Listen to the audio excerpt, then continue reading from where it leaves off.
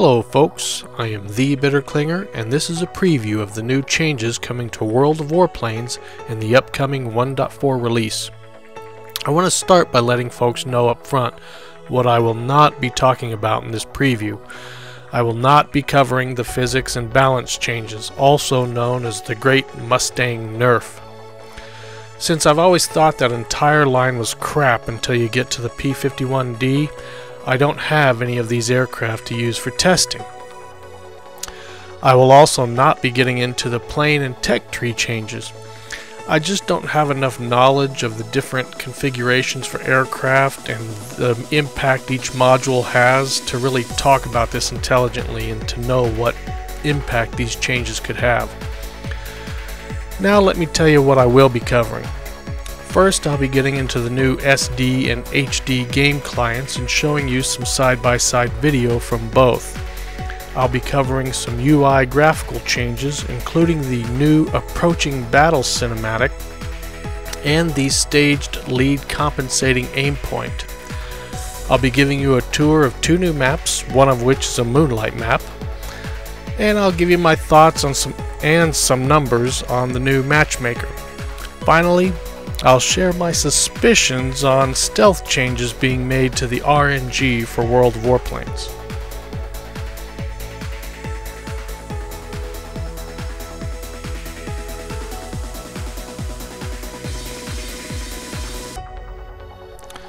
What does wargaming mean by SD and HD? I don't know, but it has nothing to do with standard definition or high definition. It has more to do with 64-bit texture quality on high-end machines, but they couldn't call the different clients 32 and 64 because that would give people the impression that it was a 64-bit client, and that would be wrong. This HD stuff is basically about the quality and size of textures used in the game. When I say size, I'm talking about an additional 5 gigabytes of hard drive space required for the HD client.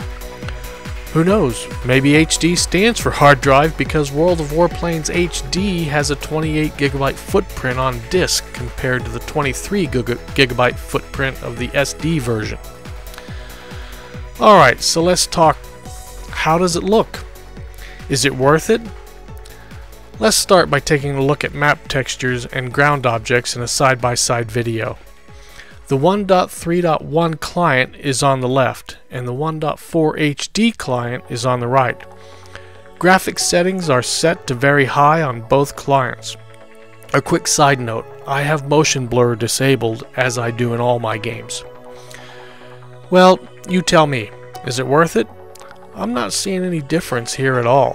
The 64-bit textures don't seem to be a factor for the static assets. Maybe someone with a better GPU might see a difference, but I'm sure I don't. Now let's take a look at the aircraft. Here I do see a difference, but not on every plane. The 32-bit textures on the F2G have a very glossy finish. It looks like a, the plane on the left has been buffed and polished to a high shine. The 64-bit textures on the right have a more worn and matted look on the aircraft. On the other hand, looking at the BF-110C6, the differences here are so subtle, I might be fooling myself into thinking that there are differences. This is not very compelling evidence here. So, is the HD client worth an extra download time and 5 gigabytes of disk space? I think each person will have to make up their own mind on that, but I can tell you that no one running the SD client needs to feel like they're missing out on anything. Now let's talk about the, some changes everyone will be seeing regardless of which client they've installed, starting with the Approaching Battle Cinematic.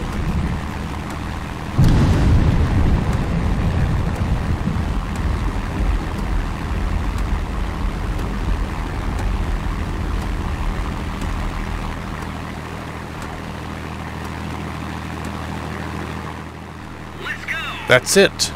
That's what all the hubbub is about. Now, don't let me downplay this too much because this change includes a feature I've wanted for a long time. The ability to return to the pre-battle team panel. I spend the loading time before most battles checking out each plane on the enemy team. I do this to determine how I will approach each aircraft, whether I can turn and burn them, or boom and zoom them. Since I'm trying to commit this information to memory, I sometimes run out of time before reaching the 10 second countdown.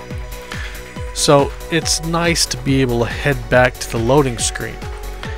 The introduction of the Battle Approach cinematic includes the ability to do just that by pressing the spacebar, allowing me, me a few more seconds of pre-battle reconnaissance. The other change I'll go over in this section is what Wargaming refers to as the lead compensating aim point, otherwise known as that red circle you shoot at in front of the enemy plane. We still have the red circle as before, but this is only one of the possible four new shapes this can take. Let's go through the four stages now. Stage 1, you're too far away. You have a gray point on a lead vector indicating your target is beyond the maximum range of your weapons. Stage 2, you're still too far away. You have a small red circle on the lead vector indicating your target is at or near the maximum range of your weapons. Stage 3, take aim. Now we see the familiar red circle, which now indicates that your target is in effective range for all your weapons. Stage 4, fire. A red crosshair is added to the red circle indicating that you can now accurately hit your target with all weapons. All of this makes for an interesting addition to the game. I suppose it could help new, new players avoid overheating their guns when they're still a thousand meters away from the nearest enemy.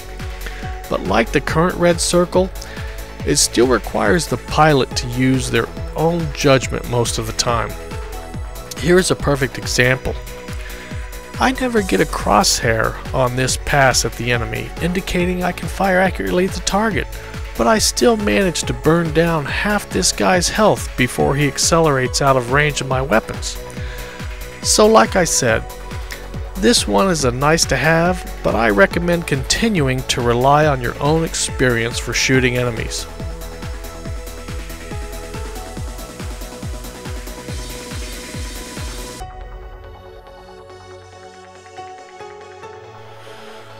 Alright, let's move on to new content, starting with the new map, Hidden Airbase. There are a couple of things that strike me about this map. First, it's gorgeous. I really love the sun on the ice and snow and the water, just lovely. Second, it's interesting. You have ships fighting it out in the ice fjords, surface fires on the water, flak bursts in the distance, and what looked to me like some opportunities for follow the leader contests.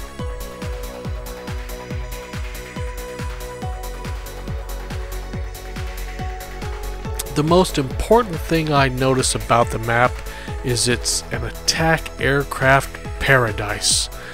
An attack aircraft with camouflage flying down in between these ice formations would be nearly invisible. Also, notice that an IL could probably fly right underneath the furball of fighters using these cracks and crevices right down the middle of the map and remain unseen the entire time. None of that even compares to the opportunity for racking up ground targets. Look at the number of AA guns surrounding headquarters with a relatively low number of hit, hit points. Allowing an attack aircraft to run loose around your headquarters on this map could easily hand your enemies an 8 to 10 point supremacy advantage in a very short time.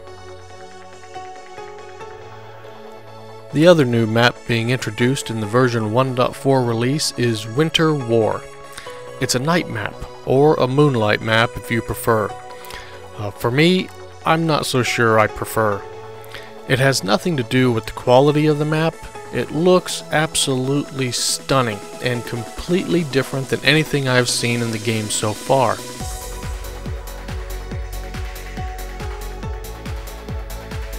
It's got fires burning through the night, artillery exchanges on the horizon, and another opportunity for a follow the leader contest.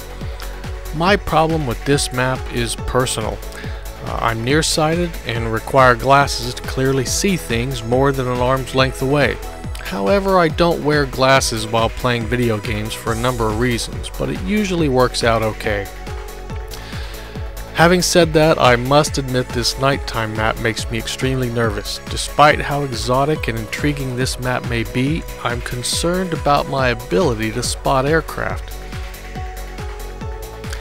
I tried for a couple of days to get a random battle on this map, but it just wasn't in the cards. So I look forward to experiencing this map, Winter War, as it should be, right along with everyone else once the 1.4 update goes live.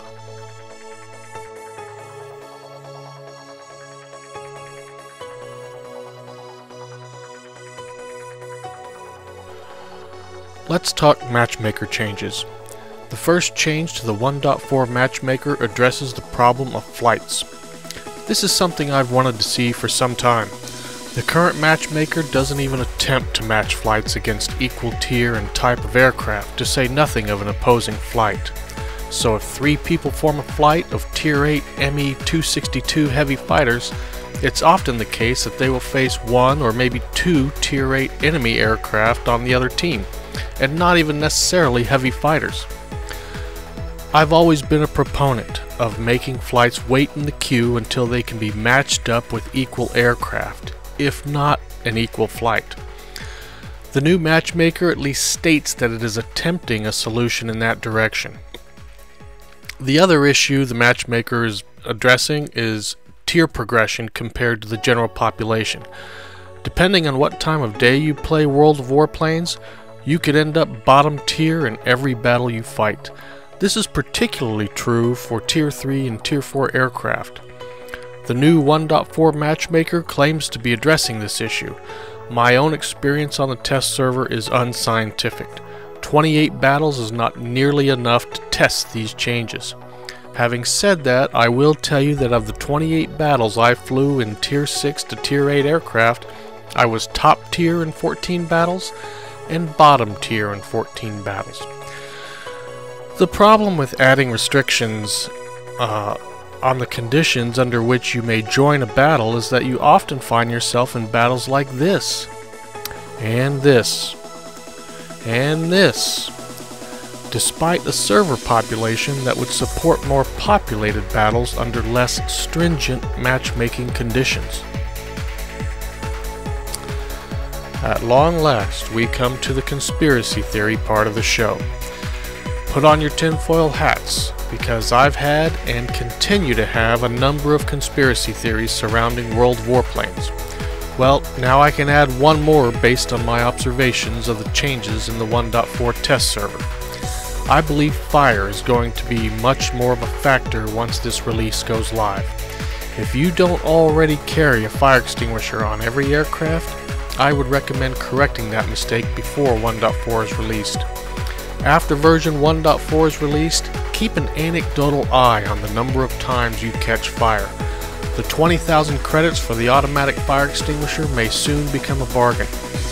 Again, this is just a suspicion based on personal observations, but I truly believe a dramatic change has occurred in this area of the RNG and is headed to a live server near you. Wow, I think we've covered a lot of material here. If you like what you see here and want to be informed as more becomes available, please subscribe to this YouTube channel. Also, you can follow me on Twitter to receive a notification when I publish a new video, including win, lose, or draw videos. That's it for now. I hope to see you in the skies. This is Bitter Clinger, signing out.